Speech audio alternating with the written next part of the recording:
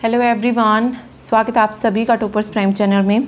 इस वीडियो में हम देखेंगे हरियाणा पुलिस कांस्टेबल और दिल्ली पुलिस कांस्टेबल के लिए मॉक टेस्ट नंबर एट जिसमें हम जो है अलग अलग एग्ज़ामों में पूछे गए क्वेश्चन देखेंगे ओके तो चलिए शुरू करते हैं। आ, उससे पहले अगर आप जो है इन आ, दोनों ही एग्ज़ाम के लिए अगर मॉक टेस्ट कंप्लीट ख़रीदना चाहते हैं तो परीक्षा ऐप से ख़रीद सकते हैं ठीक है? उसके लिए जो है आप हमारा टोपर्स फोर्टी कोड यूज़ कर सकते हैं जिसपे आपको फोर्टी परसेंट का जो है ऑफ़ मिलेगा। ठीक है? चलिए देखते हैं। देखिए फ़र्स्ट क्वेश्चन है निम्नलिखित में से किस शब्द का अर्थ पालतू कुत्तों का वैज्ञानिक अध्ययन है? Which of these words refers to the scientific study of the domestic dog carpology chrematistics cynology या क्रीनियोलॉजी कार्नियोलॉजी ठीक है? यहाँ पे बताना है scientific study of domestic dog तो राइट आंसर हो जाएगा यहाँ पे साइनोलॉजी ठीक है साइनोलॉजी जो है यहाँ पे सही होगा। डी ऑप्शन और यहाँ पे सी ऑप्शन अगर मैं बात करूँ कॉर्पोलॉजी की तो कॉर्पोलॉजी होता है study of seed and fruits seed and fruits chrematistics क्या होता है? क्रीमेटिस्टिक्स होता है study of wealth study of wealth as measured in money ठीक है? और कार्नियोलॉजी होता है study of characteristic of the skull such as size and shape specially in human ठीक है? तो ये याद रखिए। नेक्स्ट है, वयोवृद्धा, स्वतंत्रता सेनानी, समाज सुधारक और नारीवादी, सावित्री बाई फुले भारत के निम्नलिखित में से किस राज्य से है? Veteran freedom fighter social reformer and feminist Savitri Bai Phule hailed from which of the following state of India Maharashtra Rajasthan Gujarat या फिर ओडिशा सावित्री बाई फुले जो थी वो किसकी वाइफ थी? ज्योतिबा गोविंद राव फुले की। ठीक है? सावित्री बाई फुले को क्या कहा जाता है? भारत की प्रथम महिला शिक्षिका समाज सुधारिका और ये क्या थी? आ, एक कवियत्री भी थी। ठीक है, जिन्होंने स्त्री अधिकारों के लिए काम किया था अपनी हस्बैंड के साथ मिलकर, ज्योतिबा राव, गोविंद राय फुले के साथ। ओके और ये कहाँ से रिलेटेड है? ये रिलेटेड है महाराष्ट्र से। ठीक है? नेक्स्ट देखिए, भारत से किसने करतारपुर गलियारे यानी कि कॉरिडोर का उद्घाटन किया और सिख धर्म के संस्थापक गुरु नानक देव के अंतिम विश्राम स्थल के लिए तीर्थ यात्रियों के पहले जत्थे को झंडी दिखाकर रवाना किया? नरेंद्र मोदी, रामनाथ कोविंद, मनमोहन सिंह या फिर अमरिंद्र सिंह? तो किसने जो था करतारपुर गलियारे का जो है उद्घाटन किया था? नरेंद्र मोदी ने किया था। ठीक है प्राइम मिनिस्टर नरेंद्र मोदी ने। आगे देखिए, ठोस कार्बन डाइऑक्साइड का अधिक सामान्य नाम क्या है? What is the more common name for solid carbon dioxide पारद, पोटाश, शुष्क बर्फ़ या इप्सम? मीन्स क्विक सिल ये देख लीजिए। इप्सम ड्राई आइस पोटाश या quicksilver solid carbon dioxide का सामान्य नाम क्या है? तो राइट आंसर हो जाएगा शुष्क बर्फ़, यानी कि ड्राई आइस ठीक है? चलिए नेक्स्ट देखिए। निम्नलिखित में से कौन सी संस्था भारत में रेपो दर और रिवर्स रेपो दर जो है निर्धारित करती है? Which of these institution fix the repo rate and the reverse repo rate in India controller and auditor general of India reserve bank of India ministry of finance state bank of India तो भारत में repo rate और reverse repo rate कौन निर्धारित करता है? Reserve bank of India भारतीय reserve bank ठीक है? नेक्स्ट देखिए, विजयनगर की राजधानी वेट प्राचीन शहर हम्पी के खंडहर किस वर्तमान भारतीय राज्य में स्थित हैं? तेलंगाना, कर्नाटक, हरियाणा या Bihar? The ruins of the ancient city of Hampi, capital of Vijayanagar, is located in which present day of Indian state? Hampi कहाँ पर है? तो राइट आंसर हो जाएगा यहाँ पे कर्नाटका। ठीक है? नेक्स्ट देखिए। उस भौतिक विज्ञानी का नाम बताइए जिसे न्यूट्रॉन की खोज का श्रेय दिया जाता है। 1932 की इस खोज के लिए उन्हें क्या मिला था? नोबेल पुरस्कार भी मिला था। तो उस वैज्ञानिक का नाम बताना है हमें, जिसने न्यूट्रॉन को डिस्कवर किया था। J S Fleming Max Planck Enrico Fermi James Chadwick तो राइट आंसर क्या हो जाएगा? जेम्स चैडविक ठीक है? नेक्स्ट देखिए, निम्नलिखित में से कौन सी पुस्तक सलमान रुश्दी द्वारा नहीं लिखी गई है?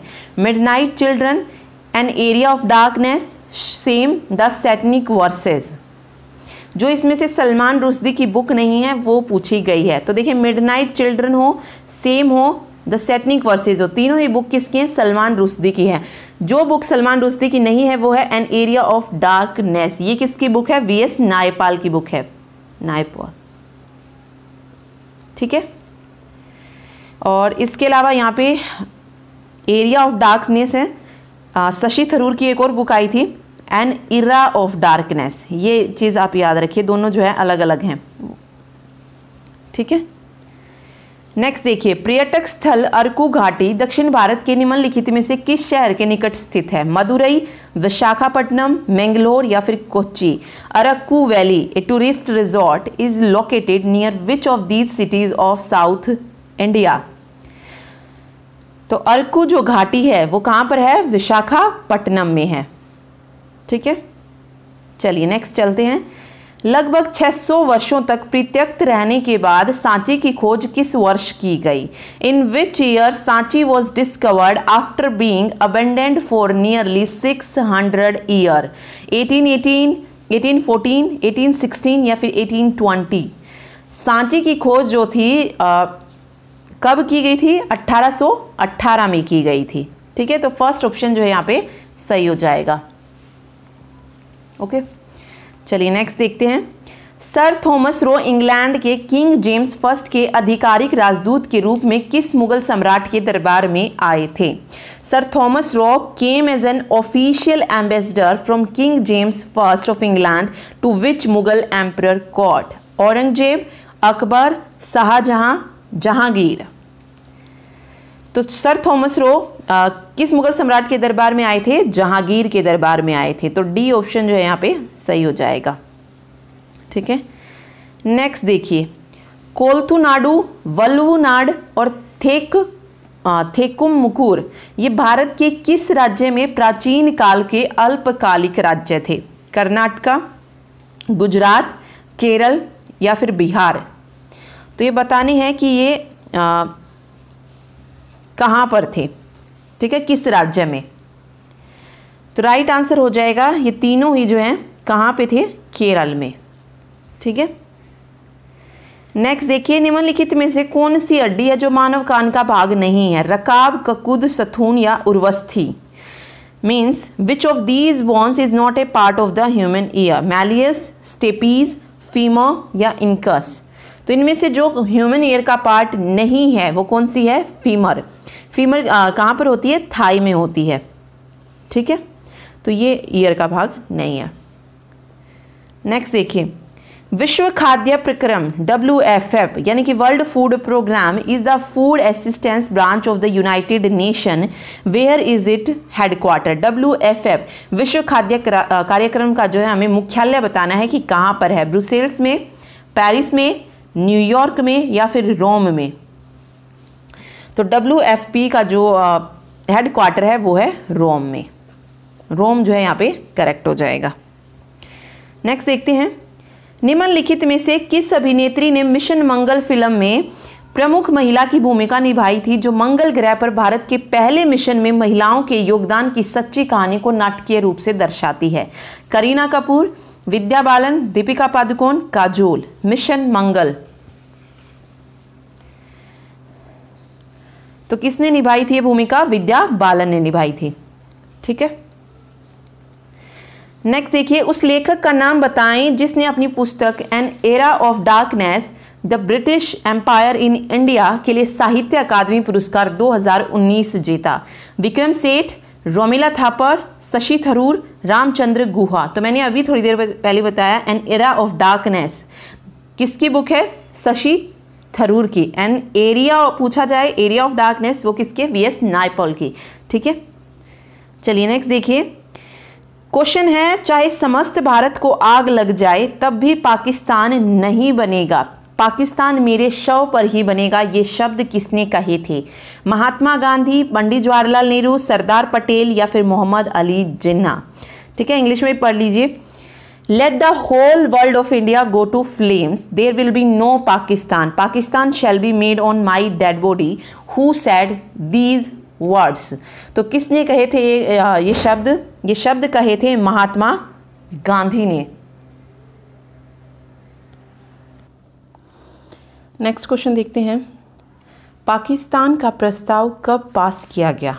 When the Pakistan resolution was passed 23 March 1941 ईस्वी को 23 मार्च 1940 ईस्वी को 23 मार्च 1942 को 23 मार्च 1943 को। पाकिस्तान रिवोल्यूशन।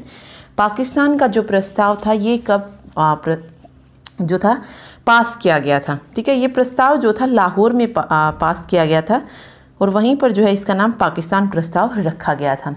ठीक है और ये पास हुआ था 23 मार्च 1940 को। ये भी पूछ सकते कि कहाँ पर पास किया गया? तो लाहौर में जो था, ये पास किया गया था 23 मार्च 1940 को। ठीक है? बी ऑप्शन जो है यहाँ पे सही हो जाएगा। नेक्स्ट देखिए। कैबिनेट मिशन ने अपनी संवैधानिक योजना की घोषणा कब की थी? When cabinet mission declare its constitutional plan 16 मई 1945 को 16 मई 1946 को 16 मई 1944 को या 16 मई उन्नीस सौ सैंतालीस को। When cabinet mission declare its constitutional plan तो कब जो है कैबिनेट मिशन ने संवैधानिक योजना की घोषणा की थी? 16 मई 1946 ईस्वी को। ठीक है? नेक्स्ट है, महात्मा गांधी किस भाषा को राष्ट्रीय भाषा बनाने के पक्ष में थे? हिंदी, उर्दू, हिंदुस्तानी या फिर Sanskrit. Mahatma Gandhi favoured which language as national language. तो महात्मा गांधी हिंदी को जो है राष्ट्रीय भाषा बनाने के पक्ष में थे। तो फ़र्स्ट ऑप्शन जो यहाँ पे सही हो जाएगा हिंदी। ठीक है? नेक्स्ट है, पाकिस्तान शब्द का सर्व सबसे पहले जो प्रयोग था वो किसने किया था? Who first time used the word Pakistan? Rahmat Ali, Mohammad Iqbal Mohammad Ali Jinnah या फिर आगा खां। तो देखिए पाकिस्तान का शब्द पाकिस्तान शब्द का प्रयोग जो था सबसे पहले 1933 में हुआ था और इस शब्द का सबसे पहले प्रयोग किया था आ, रहमत अली ने। ठीक है? तो फ़र्स्ट ऑप्शन यहाँ पे सही हो जाएगा रहमत अली। नेक्स्ट देखिए संविधान सभा में कितनी धाराएँ हैं? How many clauses consist in the Indian constitution 390 392, 395 या 398 संविधान सभा में धाराएँ पूछी हैं। धाराएँ कितनी है? संविधान सभा में तीन सौ पिचानवे थ्री नाइन्टी फाइव। ठीक है? नेक्स्ट देखिए धर्मनिरपेक्ष राज्य का अर्थ क्या था? एक धर्म पर आधारित राज्य सभी धर्मों का आदर करने वाला हिंदू धर्म के पक्ष में, इस्लाम के पक्ष में सेक्युलर स्टेट कौन सी होती है, जहाँ पर किसी भी धर्म को जो है ज़्यादा मतलब हर एक धर्म को इक्वल माना जाए, ठीक है? तो सभी धर्मों का आदर। तो बी ऑप्शन जो है यहाँ पे सही हो जाएगा रिस्पेक्ट ऑफ़ ऑल रिलीजन्स ठीक है? नेक्स्ट देखिए, निम्नलिखित में से किस महाद्वीप में जो है जनसंख्या वृद्धि सर्वाधिक है? अफ्रीका, एशिया, दक्षिण अमेरिका, उत्तर अमेरिका। यहाँ पे पूछा गया है कि which one of the following continent has the highest growth of population Africa, Asia, South America या नॉर्थ अमेरिका? तो कहाँ पर है हाईएस्ट ग्रोथ ऑफ़ पॉपुलेशन जनसंख्या वृद्धि सबसे ज़्यादा वो है अफ्रीका में। ठीक है? First option Africa. नेक्स्ट देखिए निम्नलिखित में से कौन सा एक प्रतिकर्ष कारक नहीं है? तो यहाँ पे जो है माइग्रेशन का पुश फैक्टर जो नहीं है, वो बताना है। Push is not a factor not a push factor in migration okay जल का अभाव, बेरोजगारी, चिकित्सा, शैक्षणिक सुविधाएँ या महामारियाँ। Which one of the following is not a push factor in migration water shortage unemployment medical educational facility या एपिडेमिक्स तो देखिए पुश फैक्टर कौन कौन से हो सकते हैं? वाटर शॉर्टेज हो सकता है सॉरी शॉर्टेज है. अनएम्प्लॉयमेंट हो सकता है एपिडेमिक्स हो सकता है, यानी कि महामारी से. जो नहीं हो सकता, वो है मेडिकल और एजुकेशनल फैसिलिटीज़ चिकित्सा और शैक्षणिक सुविधाएँ. ठीक? नेक्स्ट देखिए, निम्नलिखित में से कौन सा देश उच्च मानव विकास वाला देश नहीं है बताना है? जापान, नार्वे मिश्र या फिर Argentina. Which one of the following is not a country with high human development तो राइट right आंसर हो जाएगा इजिप्ट ठीक है? सी ऑप्शन जो है यहाँ पे सही रहेगा इजिप्ट ठीक? निम्नलिखित में से किस वर्ष में पहला रेडियो कार्यक्रम प्रसारित हुआ था? पहला रेडियो कार्यक्रम जो है बताना है कि किस वर्ष जो है ये प्रसारित हुआ था। 1911 में 1936, 1927 या 1923 तो देखिए जो पहला रेडियो प्रोग्राम ब्रॉडकास्ट हुआ था वो ब्रॉडकास्ट हुआ था जून 1923 में 1923 ठीक है? तो राइट आंसर 1923 हो जाएगा। नेक्स्ट है, किस तत्व को माता प्रकृति कहते हैं? भौतिक पर्यावरण, सांस्कृतिक पर्यावरण, राजनीतिक पर्यावरण या फिर औद्योगिक पर्यावरण? माता प्रकृति। Which element is called mother nature physical environment cultural environment political या इंडस्ट्रियल मदर नेचर किस एलिमेंट को कहा जाता है? किस एनवायरनमेंट को कहा जाता है? भौतिक पर्यावरण, यानी कि फ़िज़िकल एनवायरनमेंट को कहा जाता है। एनवायरनमेंट ठीक है? Mother nature physical environment next देखिए, निम्नलिखित में से कौन सा एक भारत में पुरुष प्रवास का मुख्य कारण है? पुरुष प्रवास होता है male migration in India. Main reason क्या है? माइग्रेशन का। ठीक है? मेल के बारे में पूछा है पुरुष का। शिक्षा, व्यवसाय, विवाह, काम या रोज़गार। तो क्या है रीजन वो है काम और रोज़गार। ठीक है? Work and employment D option जो है, सही हो जाएगा। नेक्स्ट है, निम्न व्यापार समूह में से भारत किसका एक सह सदस्य है? In which of the following trade block is India is an associate member SAFTA ASEAN OECD या ओपेक तो in which of the following trade block is India and associate member किसका मेंबर है इनमें से भारत? तो भारत मेंबर है SAFTA का। SAFTA क्या है? South Asian South Asian free trade area free trade area इसमें देखिए कौन कौन सी कंट्रीज़ आती है? अफ़गानिस्तान, बांग्लादेश, भूटान, इंडिया, मालदीव पाकिस्तान, श्रीलंका, ठीक है? ये सारी जो है कंट्रीज़ इसमें आती हैं तो साफ्टा जो है यहाँ पे सही हो जाएगा। ठीक? कौन सा नगर है जो कि मध्यकालीन नगर है? Which is a medieval town Delhi Mumbai Chandigarh या पाटलिपुत्र इनमें से मध्यकालीन नगर कौन सा है? आ, तो वो है पाटलिपुत्र ठीक है? डी ऑप्शन जो है सही हो जाएगा। निम्नलिखित में से कौन सी एक आर्थिक क्रिया ग्रामीण बस्तियों की मुख्य आर्थिक क्रिया? Which one of the following type of economic activities dominate in all rural settlement ग्रामीण बस्तियों में जो मुख्य जो क्रिया होती है, वो कौन सी होती है? प्राथमिक है, द्वितीयक है, तृतीयक है या चतुर्थ है? Which one of the following type of economic activity dominate in all rural settlement तो रूरल सेटलमेंट मतलब कौन सी एक्टिविटीज़ वहाँ पे होती है? प्राइमरी प्राथमिक क्रियाएँ। ठीक है? नेक्स्ट देखिए क्वेश्चन है कंप्यूटर के। Insertion operation in a stack is called stack जो होता है स्टैक कुछ इस तरीके से होता है, देखिए। तो स्टैक में जो इंसर्शन होता है, उसको हम क्या कहते हैं? तो स्टैक में अगर हम कोई भी नंबर इंसर्ट करते हैं फाइव है सिक्स है सेवन है, कोई भी नंबर हम जब स्टैक में डालते हैं इंसर्ट करते हैं तो उस ऑपरेशन को बोला जाता है पुश ऑपरेशन ठीक है? अब स्टैक में कुछ एलिमेंट्स है और हम उस एलिमेंट को डिलीट करें। लाइक मैंने सेवन को डिलीट किया। ठीक है? तो डिलीट करना क्या कहलाता है स्टैक में? तो स्टैक में जो डिलीशन ऑपरेशन है, उसको कहते हैं पॉप तो ये याद रखें इंसर्शन ऑपरेशन को पुश कहा जाता है और डिलीट ऑपरेशन को पोप कहा जाता है। और ये सारे क्वेश्चन जो है एनसीईआरटी से रिलेटेड है इलेवन ट्वेल्थ से। और जो भी इनकी थ्योरी है, वो हम ऑलरेडी कर चुके हैं पहले ही। तो हरियाणा पुलिस के लिए बहुत इंपॉर्टेंट है ये क्वेश्चन ठीक है? चलिए, अब पूछा गया है D D L D D L आता है ये डी बी एम एस जो हमने किया एन सी आर टी का। उसमें आता है D D L D D L होता है data definition language data definition language और एक होता है D M L data manipulation language ठीक है? अगला देखिए। थ्री एन एफ़ में प्रत्येक नॉन की एट्रीब्यूट प्राइमरी की पर कैसे आश्रित होती? In three N F every non key attribute is dash dependent on primary key तो देखिए हमने इससे पहले वाले में टू एन एफ़, जो मोक टेस्ट नंबर सेवन था, उसमें पढ़ा था कि टू एन एफ़ में क्या होता है? हर एक जो की एट्रीब्यूट होता है, वो फुल्ली फंक्शनली डिपेंडेंट होता है। ओके? और थ्री एन एफ़ में क्या होता है? Non key attribute is transitively dependent होता है। ट्रांजिटिवली डिपेंडेंट ऑन प्राइमरी की ठीक है? ये याद रखिए। अगला देखते हैं वैन का पूर्ण रूप फुल फॉर्म बतानी है वैन की। तो वैन की फुल फॉर्म होती है वाइड एरिया नेटवर्क ठीक है? देन है डब्ल्यू डब्ल्यू का पूर्ण रूप क्या होता है? तो वर्ल्ड वाइड वेब ठीक है? नेक्स्ट है एच में कितने हैडिंग होते हैं? There are dash number of heading in H T M L six five four या थ्री तो एच में अगर हम हैडिंग की बात करें तो एच में हैडिंग होते हैं सिक्स सिक्स हैडिंग जो है एच में होती है.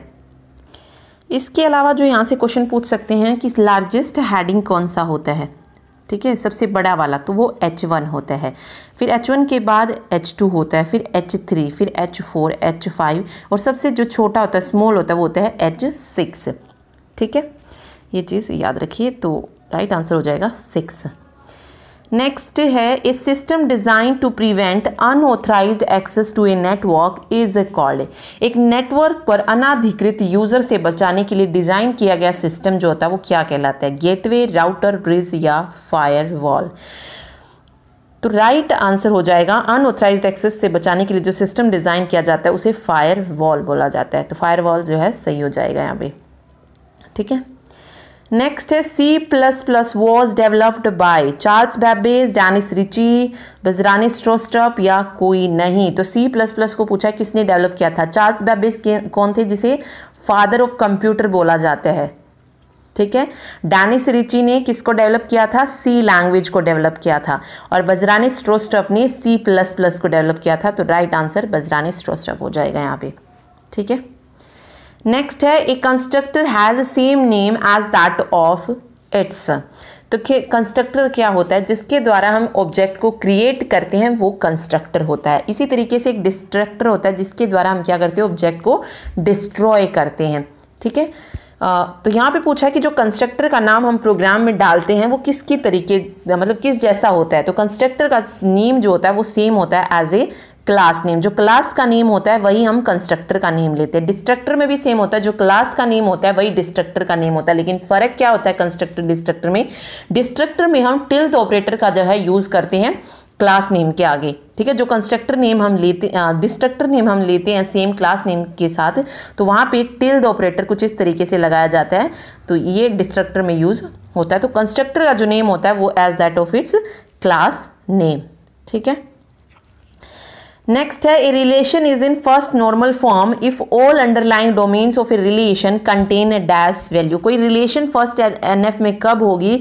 जब जितनी भी डोमेन्स हैं, वहाँ पर क्या करेंगे? वैल्यू कैसी वैल्यू कंटेन करेंगे? एटॉमिक वैल्यू कंटेन हो, करेंगे। ठीक है? तो कंटेन एटॉमिक वैल्यूज़ ठीक?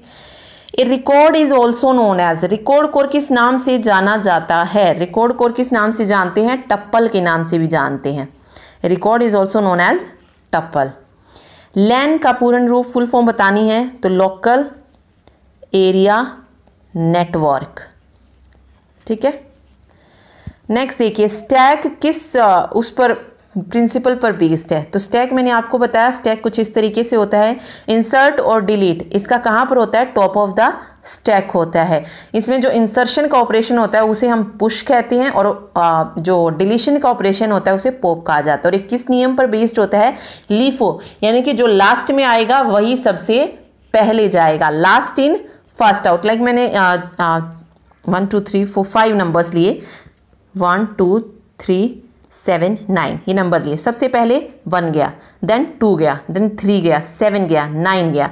अब मुझे अगर इसमें से डिलीट करना है कुछ, इस स्टैक में से तो सबसे पहले मैं किस नंबर को डिलीट करूँगी? नाइन को डिलीट करूँगी। तो जो सबसे लास्ट में इन होगा, वही सबसे पहले आउट होगा। ठीक है? इंसर्शन जिसकी लास्ट में होगी, वो सबसे पहले डिलीट होगा। तो ये होता है स्टैक का principle last in first out तो फ़र्स्ट ऑप्शन जो है यहाँ पे सही हो जाएगा। ठीक है? नेक्स्ट देखिए a W W W client is called W W जो क्लाइंट है, उसे क्या कहते हैं? देखिए जो क्लाइंट साइड होती है, उसे बोला जाता है वेब ब्राउज़र ठीक है? उसे क्या बोलेंगे? वेब ब्राउज़र बोलेंगे. तो राइट आंसर वेब ब्राउज़र हो जाएगा. ठीक? Okay which tag is use for adding links to H T M L page तो देखिए वर्ल्ड वाइड जो वैसे पेज होते हैं वेब पेजेस जो होते हैं वो किसके द्वारा डिज़ाइन किए जाते हैं? H T M L hyper text markup language के द्वारा। ओके okay, अगर हम H T M L page में लिंक जोड़ना चाहते हैं कि मैंने कोई लिंक दिया और जैसे ही मैं उस पर क्लिक करूँ वहाँ पे कोई और फ़ाइल ओपन हो जाए ठीक है इस तरीके का जो लिंक जो दिया जाता है वो किस टैग के द्वारा जो है हम देते हैं ये पूछा गया है। ओके okay, तो उसके लिए हम यूज़ करते हैं एंकर टैग ठीक? A is A tag means anchor tag का यूज़ किया जाता है लिंक ऐड करने के लिए एच पेजेस में, ठीक है? ओके आगे रीजनिंग के क्वेश्चन है। In the following question select the related word from the given alternative निम्नलिखित प्रश्नों में दिए गए विकल्पों में से संबंधित शब्द को चुनिए। हॉकी के लिए हम यूज़ करते हैं स्टिक का। स्टिक के साथ खेली जाती है तो क्रिकेट किससे खेलते हैं? बल्ले से? बैट जो है यहाँ पे सही हो जाएगा राइट आंसर ठीक है? नेक्स्ट चलिए देखिए in the following question select the related number thirteen ninety one दिया है और फिर सेवन दिया है। तो जो रिलेशन फ़र्स्ट सेकंड में है, वही थर्ड और फोर्थ में मिलेगी। तो नाइन्टी वन कैसे आ सकता है? थर्टीन सेवन जा। कितना बनेगा? तेरह सत्य इक्यानवे। तो सेवन इंटू सेवन कितना बन जाएगा? फोर्टी नाइन राइट आंसर यहाँ पे क्या हो जाएगा? फोर्टी नाइन जो है यहाँ पे सही हो जाएगा। ठीक है? चलिए नेक्स्ट देखते हैं। निम्नलिखित प्रश्न में दिए गए विकल्पों में से विषम संख्या को चुनना है। फोर्टी टू एटी फोर दिया है thirteen twenty five seventeen thirty four twenty four forty eight जो इनमें सबसे अलग है, वो देखनी है। तो देखेंगे अगर यहाँ पे तो forty two plus forty two या कह लीजिए फोर्टी टू इंटू टू क्या होता है? एटी फोर होता है, दो गुना ले रखा है। यहाँ पे अगर आप देखेंगे तो इसमें नहीं है सेवनटीन टू ज़ा। या सत्रह सत्रह कितने हो रहे हैं? चौंतीस हो रहे हैं। चौबीस दूनी अड़तालीस आ रहा है। लेकिन यहाँ पे ट्वेंटी फाइव की जगह ट्वेंटी सिक्स होना था तो ये जो है यहाँ पे सही हो जाएगा थर्टीन ट्वेंटी फाइव वाला पेयर ओके नेक्स्ट देखिए क्वेश्चन है, दी गई आकृति में त्रिभुज, बताने हैं तो काउंट करके देखिए कितने त्रिभुज जो है इसमें बन रहे हैं। फोर सिक्स फाइव या सेवन तो देखते हैं काउंट करके। वन टू सॉरी वन और टू, थ्री और एक ये पूरा। ठीक है? फोर। तो टोटल कितने जो है यहाँ पे बन रहे ट्रायंगल? फोर ट्रायंगल जो है यहाँ पे बन रहे हैं तो राइट आंसर हो जाएगा फोर। ठीक? नेक्स्ट है, दी गई आकृति में आयत बतानी है रेक्टेंगल ढूंढ, देखिए इसमें कितने हैं? थर्टीन है फिफ्टीन है सेवनटीन है या फिर नाइनटीन रेक्टेंगल्स हैं? ठीक है, एक क्वेश्चन ज़रूर पूछा जाता है यहाँ से ऐसा रिलेटेड तो इन क्वेश्चन की थोड़ी सी प्रैक्टिस कीजिए। एक एक नंबर बहुत इंपॉर्टेंट है। तो देखिए काउंट करते हैं कि कितने जो है यहाँ पर बन रहे हैं। ठीक है रेक्टेंगल्स ढूंढते हैं। तो देखिए, सबसे पहले यहाँ से शुरू कर रहे हैं। फ़र्स्ट सेकेंड थर्ड तीन ये हो गए। एक ये वेट एक ये पूरा हो जाएगा, दो मिलकर जो बन रहा है फोर एक ये हो जाएगा फाइव और एक ये पूरा हो जाएगा। ठीक है, दोबारा देखते देखिए। सबसे पहले तो फ़र्स्ट सेकंड थर्ड ये बन रहा है। नेक्स्ट देखिए क्या बन रहा है। फोर्थ बन रहा है ये। ठीक है? फिफ्थ बन रहा है ये नीचे वाला। और अगर मैं देखूँ सिक्स सिक्स बन रहा है ये पूरा। तो छः जो है इस अकेले में है। ठीक है? नेक्स्ट हम देखते हैं फिर। एक ये रहा सेवेंथ ठीक है? एक ये नीचे वाला। एट एक ये वाला कंप्लीट बन रहा है नाइन ठीक है? एक नीचे वाला कंप्लीट बन रहा है तो पूरा टेन हो गया, और एक ये बन रहा है यहाँ पे इलेवन ठीक है? इलेवन जो है यहाँ पे बन चुके हैं। उसके बाद अगर आप देखेंगे तो एक ये रहा ट्वेल्व एक नीचे थर्टीन ये ट्वेल्व हो गया, ये थर्टीन हो गया, ये पूरा बन रहा है फोर्टीन बन रहा है, ठीक है?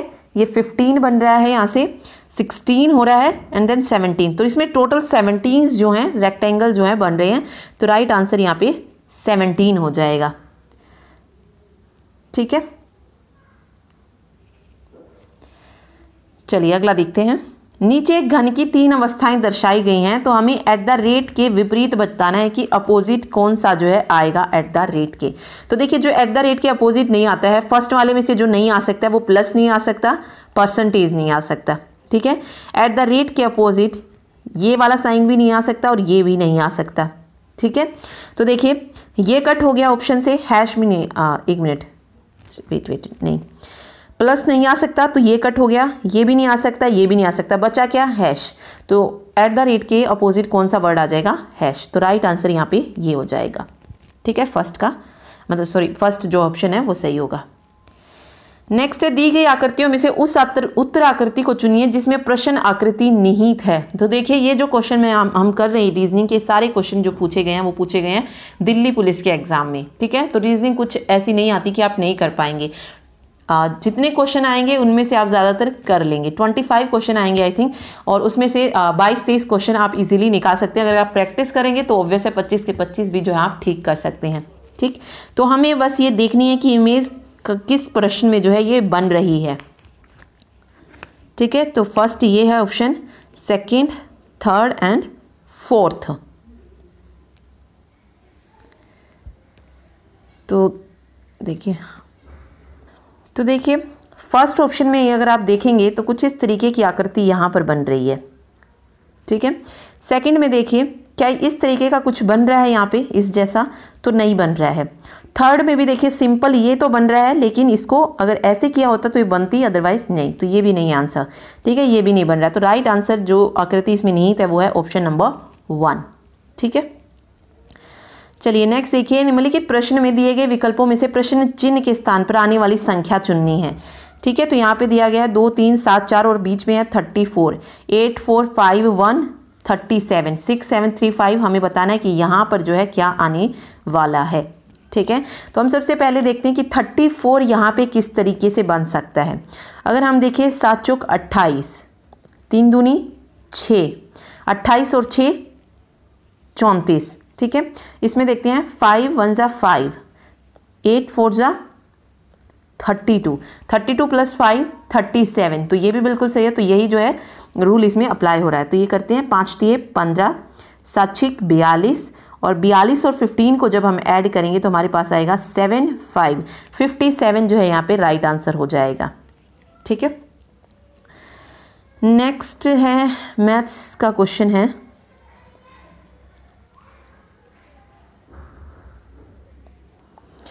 क्वेश्चन है selling price of an article is rupees nine hundred ten if the profit earn is forty percent then what is the cost price of the article एक वस्तु का विक्रय मूल्य दिया, यानी कि सेलिंग प्राइस दिया है हमें नाइन हंड्रेड टेन उस पर प्रॉफिट दिया है फोर्टी परसेंट तो हमें जो है सीपी निकालना है, क्रय मूल्य कितना है, ठीक है? तो इस जो सीपी और एसपी के क्वेश्चन है, हमेशा उसमें सीपी को क्या मान के चलिए हंड्रेड परसेंट अगर मैं कहूँ कि हंड्रेड परसेंट मेरा सीपी है तो एसपी कह रहा है ये नाइन हंड्रेड टेन लेकिन प्रॉफिट कितना हो रहा है?